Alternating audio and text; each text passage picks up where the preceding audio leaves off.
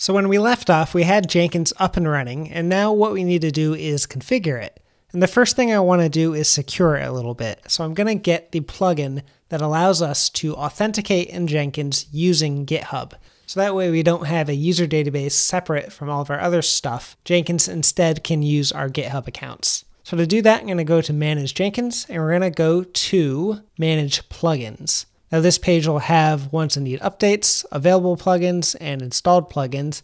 From available, I'm going to grab, or I'm just going to search for GitHub, and one of the popular ones here should be GitHub Authentication. So I'll just check that, and I'll go ahead and install without a restart. That was pending, and now it's successful, and now I'm going to restart Jenkins. So Jenkins will usually install plugins, which usually involves downloading some files, and then it usually requires a restart to get it working. Because it's all Java based, we need to allow it to suck in a plugin and restart. All right, so that is installed. We can head back up to the top level here, go to Manage Jenkins, then we're going to go to Configure Global Security, where we can enable the GitHub authentication and authorization.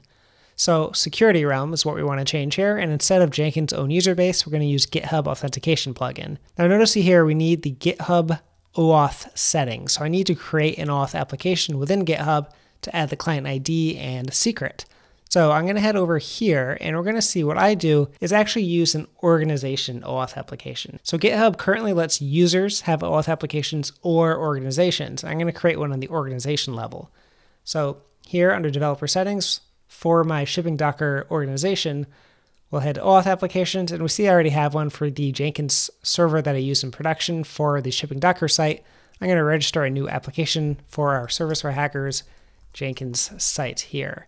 I'll just put shippingdocker.com for the homepage URL because that doesn't really matter. What does matter is the authorization callback. So I need to grab the IP address of the server because I don't have a host name to it, so I just access it over IP. And we actually see I have this autofilling from past times. I'll just change the IP address, but security realm and finish login are the correct URLs to use for any Jenkins install. In fact, while I have this IP address here, I'll just replace the homepage URL with that as well. Okay, so I'll register this application, and that's all I need. I won't add a logo or anything. But what I do want here is the client ID and the client secret. So I'll do client ID here, copy and paste the secret. And here, the only other thing I'm really going to change is use the GitHub committer authorization strategy. And that allows us to do two things. So admin usernames, I'm going to say my user Fideloper and my user shipping Docker. GitHub usernames will both be admins in Jenkins. So I'm usually user Fideloper, but I also have a user shipping Docker that I use as well. Now the organization is shipping dash Docker and the user is shipping Docker without the dash. So it's a little confusing, but it's just easier for me to do that in this case. Uh, participate in organization. We're going to do just the shipping dash Docker organization and I'm going to say grant read permissions for the GitHub webhook URL here. So I'll allow it to send GitHub webhooks to Jenkins. Okay, so I'll save that. And I'm actually going to log out and log in. Now, however, you've not been logged into GitHub, so it already knows it's set up. I'll go to the Jenkins homepage here. Jenkins redirects to the GitHub OAuth workflow. We authorize the application. Now, I'm logged in as the user shipping Docker. The user shipping Docker only has authorization to the organization shipping dash Docker. And this is why I created both an organization and a separate user. And you should too, I think. I create a separate user. I give that user only access to the organizations that I want Jenkins to have access to. Now, if I used my Fideloper user, I would have a huge list of organizations here and I wouldn't really want Jenkins to know about them. But this way lets me set up a user that only has access to specific organizations or repositories, and that lets me make sure that Jenkins doesn't have too much access to GitHub repositories. So I made a user. I'm logged in as user shipping Docker from GitHub. I use the organization shipping dash Docker to create the auth application to let me do that. Now, one important thing to know here is that when Jenkins receives a webhook from Git, it's going to know that I pushed to a branch on a repository it's watching, and then it's going to try to run some sort of script. And we have to define that script in a future video. But one thing Jenkins is going to need is access to a Git repository. Now, Jenkins doesn't have any magic in how it runs scripts. It literally just plops that script on the server and runs it as user Jenkins. So the server here that Jenkins is running on right now, how I have it set up, is also the server that's just going to run jobs. And it's just going to run them as user Jenkins, as I saw. So any permissions and stuff applies.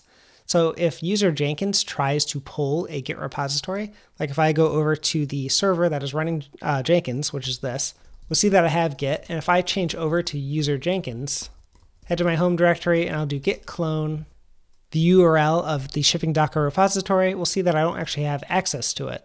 So what I need to do is make sure the user Jenkins can access repositories that it's going to be working with. So I'll make a directory that already exists. I'm going to use SSH-based access to talk to GitHub. Within the SSH directory, there's a known host file, but there's no SSH keys. So we need to create one, and then we need to add it to my shipping Docker user, not the organization, but the user, so that Git under user Jenkins can connect to GitHub and talk to the repositories that my shipping Docker user has access to. Now, this is another reason why to create a user specifically for Jenkins to use. That way you can lock down what access to repositories that user has, and therefore your Jenkins server will only have access to that as well. So we're basically saying the Jenkins user is going to use the shipping Docker user permissions to be able to do stuff, to be able to interact with my repositories on Git. So to make a new key, I'm just going to do ssh keygen dash t, the type RSA, bytes 4096 with a comment of Jenkins CI, which just makes it easy to see the owner of it. And I'll just append this service hackers Jenkins CI.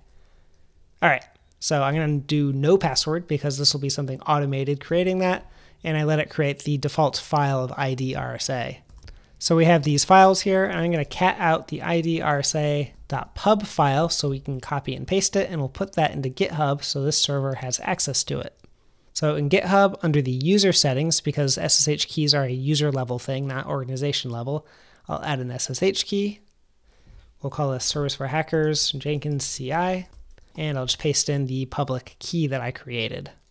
Okay, Never been used, but it is there. So let's head back over to the server and we'll do ssh dash capital T git at github.com. So we're testing out the connection and hi shipping docker you successfully authenticated. Beautiful. Okay, now if I refresh this, last used within the last day. So it knows that I've used this SSH key to connect to GitHub. Perfect. Okay, so let's try this out. I'm gonna back up a directory, make a new directory called temp with a bunch of T's. And let's see, I'm to try to git clone again. Okay, and now we have access to it. We'll see the repository and the files are there. Beautiful.